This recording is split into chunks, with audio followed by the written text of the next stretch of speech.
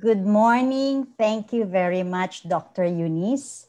First of all, magandang umaga sa lahat. Good morning, mabuhay.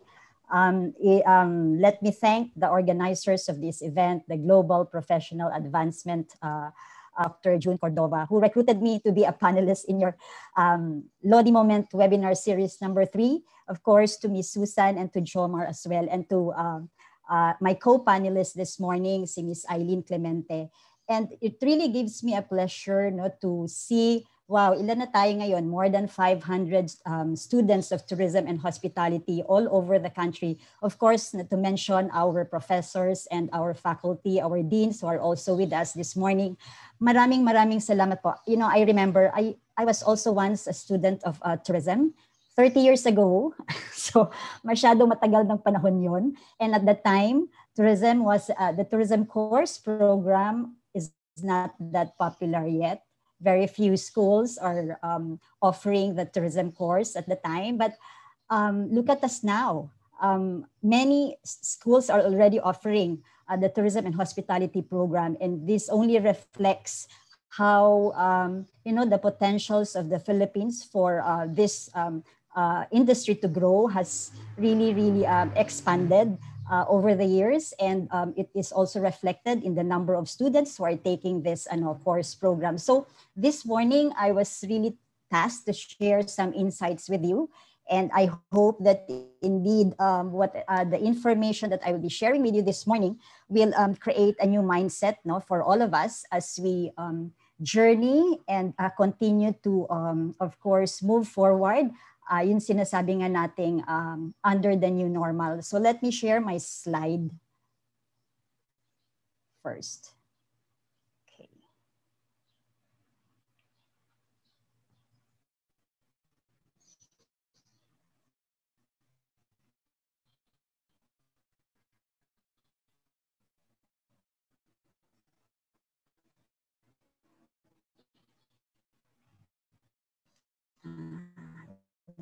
I'm sorry.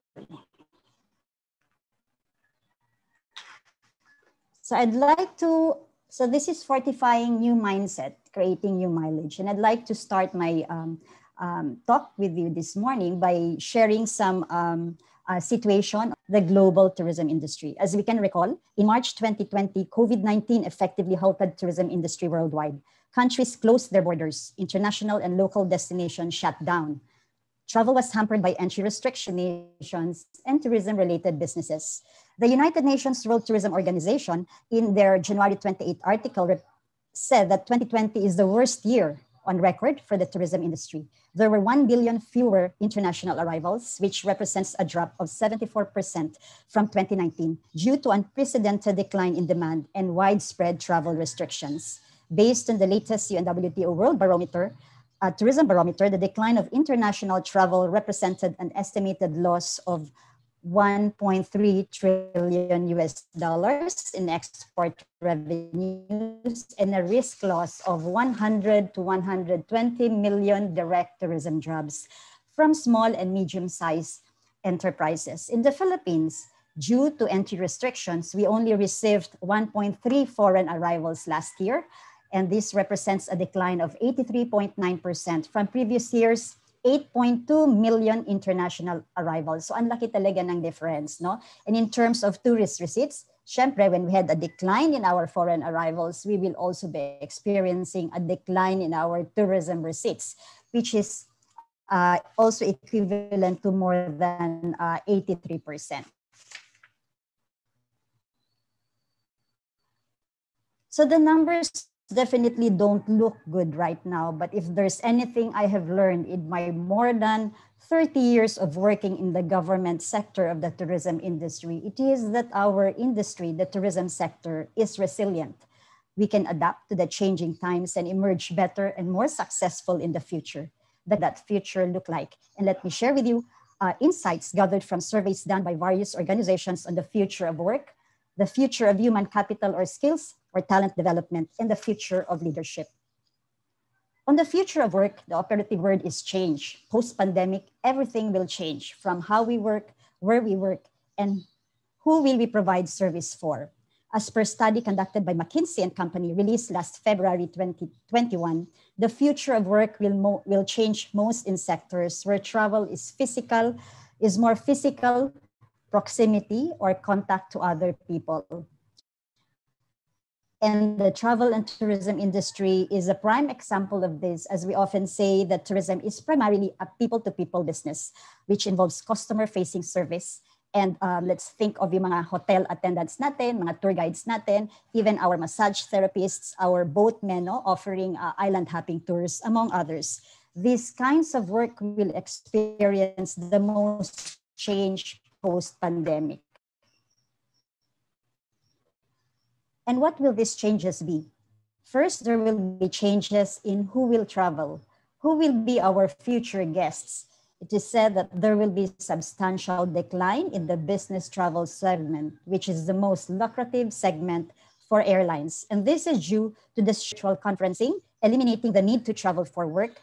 And the McKinsey report projects that about 20% of people who travel for business will not return post pandemic there will be a need for specialized tours focusing on small groups or families. There will be a resurgence of individual or solo tour packages or self-guided tours instead of joining big tour groups where there will be lots of people and higher risks of um, uh, the uh, virus transmission. Domestic travel will be more prevalent with people being hesitant to go far away uh, from uh, a destination far from their homes. Second, customer service will be redefined and um, there will be increased reliance for contact, contactless service and reliance on digital technology. There will be an increase in e-commerce transactions in relation to travel, such as direct bookings at tourism establishments and airlines, online reservations for restaurants, and use of digital ordering and payment systems. I'm sure we are all experiencing this now, no? When we order our food, um, when we also book, you know, and shop online, everything is already done online. Natuto po ako mag-online banking uh, during uh, last year. I don't usually use online banking, but uh, at the time when our borders were closed, no? So napilitan ako talagang mag-aral ng lahat ng mga ito online. Um, from work perspective, there will be increased reliance on digital technologies such as the use of smartphones, tablets, video conferencing apps like Zoom and Google Meet, and the use of online work management systems such as Microsoft Teams. Um, if I can relate to you an experience last year when uh, we were just starting, you know, um, I struggled adjusting to work from home because uh, of course, hindi ako tech savvy. And I'm sure all of you, our young students, hindi nyo problema yan. But maybe for for me, no, um, who belong to a generation na talagang wala naman kaming mga tablets when we were growing up, uh, really I had a difficulty adjusting to work from home.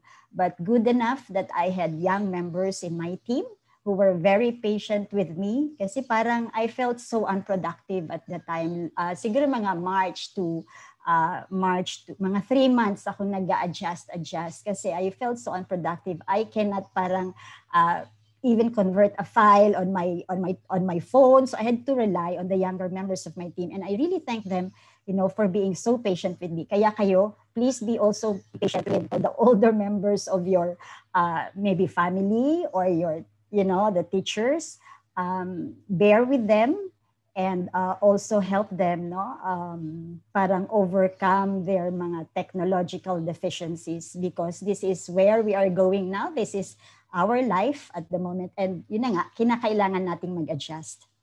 Third, there will be increased emphasis on um, safety and security. Travelers will seek out tourism establishments compliant with health and safety protocols.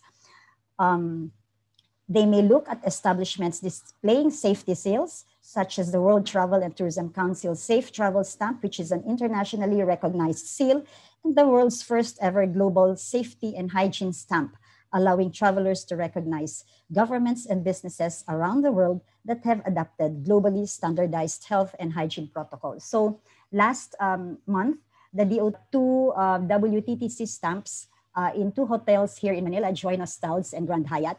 And we are also extending this uh, safe travel stamps to destinations and Baguio has applied, Boracay has also applied. So uh, definitely um, um, international travelers will be seeking and looking out for this safety seal stamp.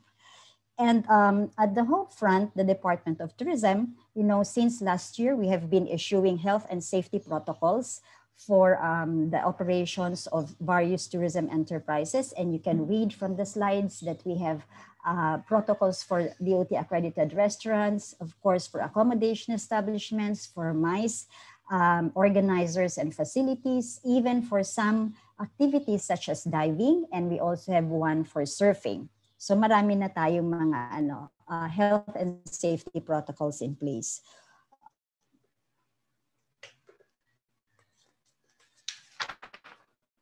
Where we work will also change. Even post-pandemic, the move towards remote working arrangements, work from home and flexible working arrangements will be maintained. Humanyze, a technology firm, conducted a 2020 study using anonymous company emails, chat, and calendar data and found that working outside of the office actually has the following effects. Employees work longer by an average of 10 to 20%. Um, I can relate to this very much last year. You know, uh, kasagsagan ng um, uh, tourist and domestic travelers. No, we uh, the DOT mounted sweeper flights. Uh, of course, assisted um, all these uh, tourists stranded in our destinations, talagang umaabot, parang halos hindi na rin natutulog yung aming frontline staff. Uh, of course, including myself, no, because we really need to ensure that uh, we extend them the appropriate and prompt assistance that they needed. Kasi um, you have to deal with emotion, the emotions no, of uh, the stranded tourists. Diba? Classic-classing emotions ang hinaharap ng aming mga frontliners. Merong mga nagagalit, merong of course very yung anxiety no na na, na nila. Um, so yeah, te, uh, more than eight hours of work. Umaabot, umaabot ng midnight actually. But you know, I have to be honest also, parang work from home, parang for me, sabi ko, uh, ano, parang napakahirap i-accept no parang nagre-resist pa ako ng mga panahon na yun kasi nga um, parang there was no borderline between um, your business working hours and your personal time uh, and I really like to, to uh, share this experience with you because I'm sure most of us would have gone through a certain phase of adjustment But we need to adjust. Yun lang din yun. No? We need to accept and make that adjustment. Kasi kung, kung papatalo tayo na at i-resist natin kung ano yung ating situation right now, I think it's all the more that we will really be depressed no? and uh, um, we will be losing hope and mas parang magagalit tayo sa ano sa sa situation. But um, of course also with prayers no? Um, and um, the the the support from from your colleagues no? From from friends and from family um maano natin uh, kumbaga in time nakapag-adjust ako. I lost weight no i lost weight during uh, ECQ but sabi ko nga sa kay Secretary Berna um, yes, ma'am, uh, nagpapasalamat din talaga ako sa young members of the team no, for really being patient with me when it comes to adjustments, yung mga kinakailangan ko uh, from the office or even yung mga files, even presentations, and even parang navigating at first sa Zoom. So all of these, um, so employees also work longer, um, also beneficial. Uh, ang working from home naman, pag uh, longer working hours, titingnan natin, uh, parang good yun from the employee's perspective, no? And, but um, also people have less desire to go back to office right now or travel to work or they live close to work. Maybe for some people, really, um, um, they are well adjusted to working from home. And lastly, some business segments will also change. As for the MICE segment, there will be an increase in outdoor events versus enclosed indoor events to maintain physical distancing and venue capacity.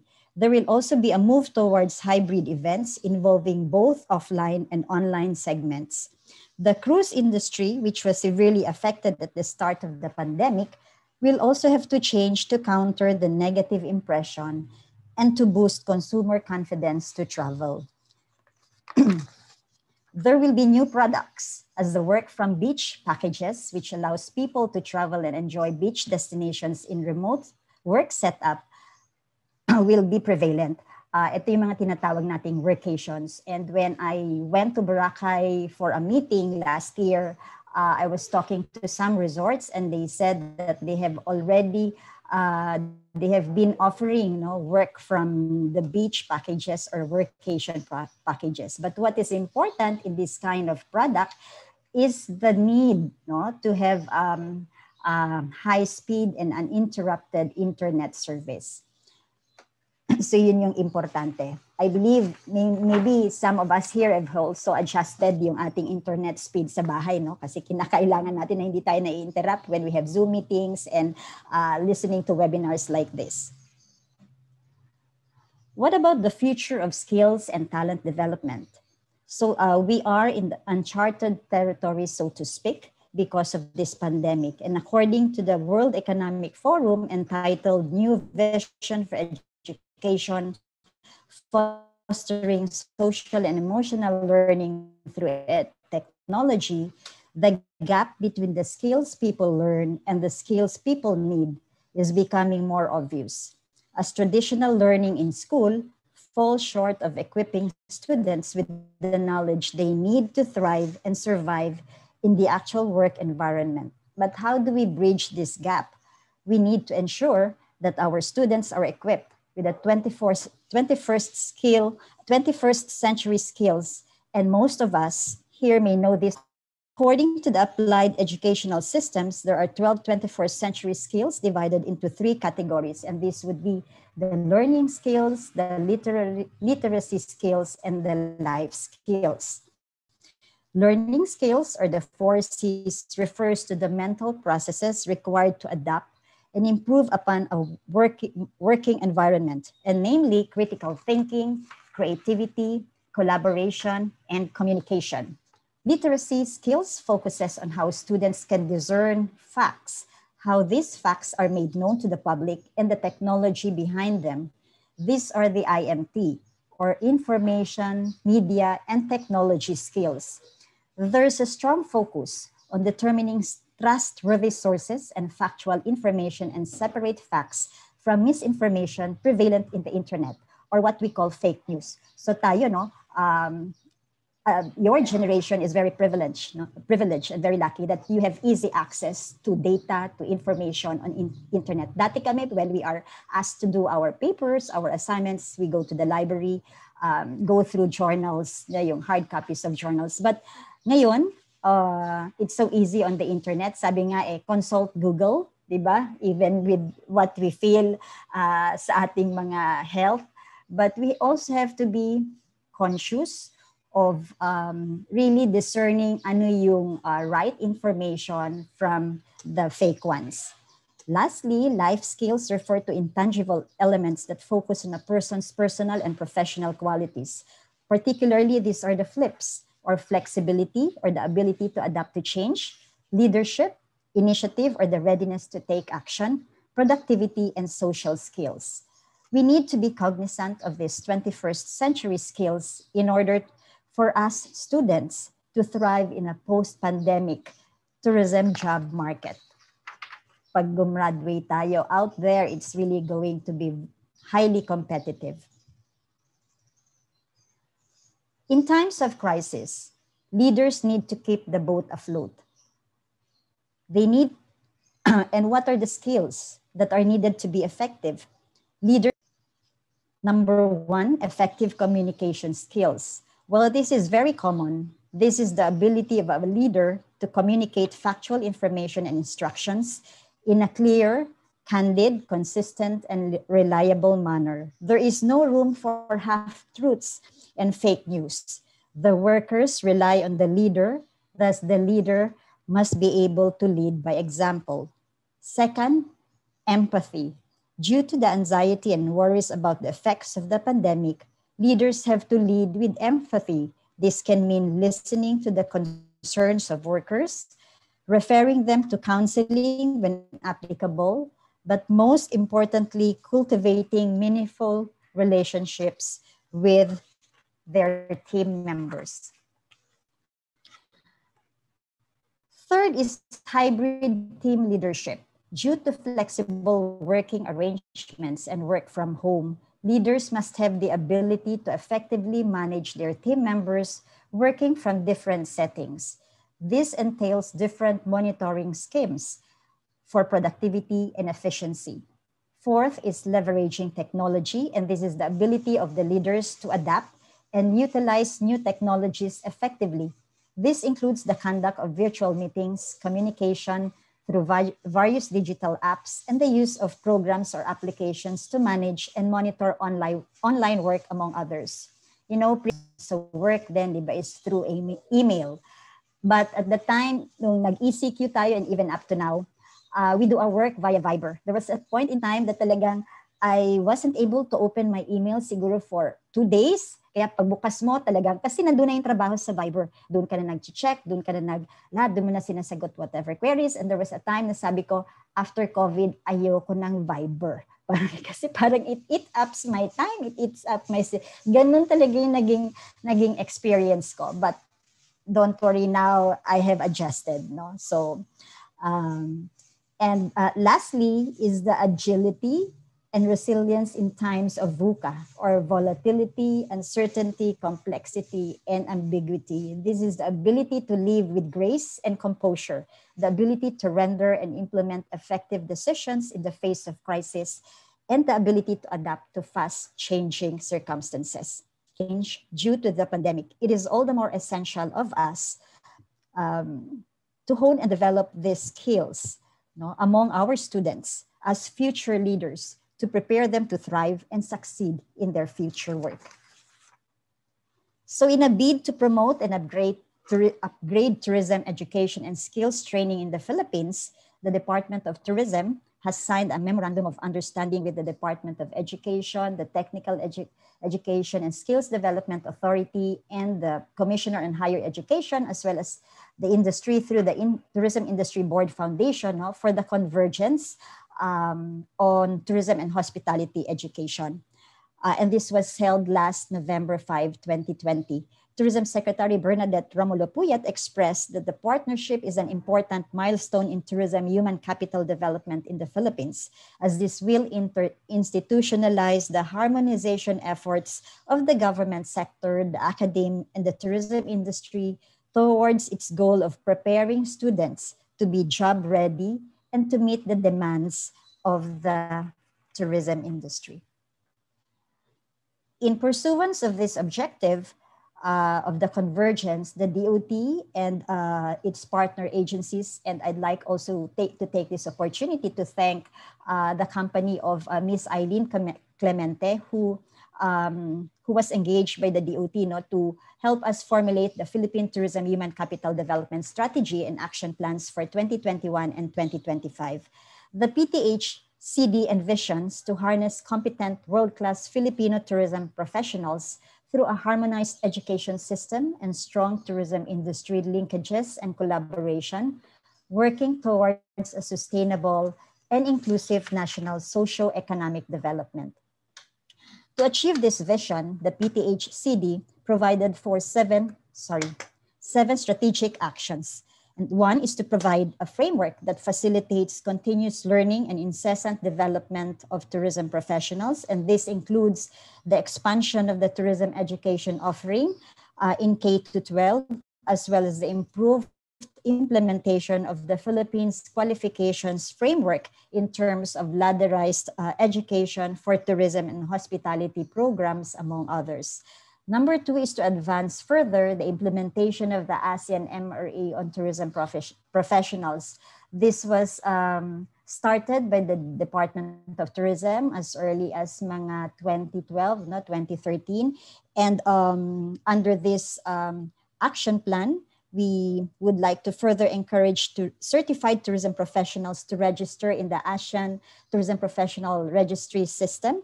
Uh, institutionalize the ASEAN Masters Assessor and Master Trainer programs, and further increase awareness on the ASEAN MRATP among students uh, in the tourism private sector and the academic community. Third um, strategic action is to meet future tourism human capital. And this uh, involves the regular conduct of tourism labor market studies, promotion of tourism education opportunities, as well as preparing programs for the integration of our OFWs into the tourism workforce. We recognize no, the wealth of um, uh, information and experience that our OFWs who may be working in various hotels and uh, uh, sectors of the tourism and hospitality no, outside of the Philippines and bringing this back uh, into the country and sharing it to, to the industry and to the academic community. They can become trainers, they can become uh, teachers of tourism and hospitality. So mas magiging malawak yung ating perspective when uh, we would um, utilize the uh, our returning OFWs no, to be part of our ano, tourism and hospitality education. Number four is to facilitate and strengthen the access to a higher standard faculty. And this is meant to strengthen the capabilities of our tourism educators uh, and trainers by providing uh, training resources, developing certification of hospitality and tourism management educators to become assessors of the common ASEAN tourism curriculum. Fifth is to strengthen linkages and collaboration among um, tourism industry stakeholders. And um, this entails the provision of um, support mechanisms for industry immersions, training for public and private sector in the tourism related services or tourism auxiliary services. And this also includes expansion and strengthening the DOT's TOPCOP program uh, the TOPCOP program po is the um, our tourism-oriented police for community order and uh, uh, protection, no? which we um, started in 2011, and the DOT has uh, also an MOU with the Philippine National Police. We know that safety and security is an important uh, factor in um, developing or having a successful tourism destination.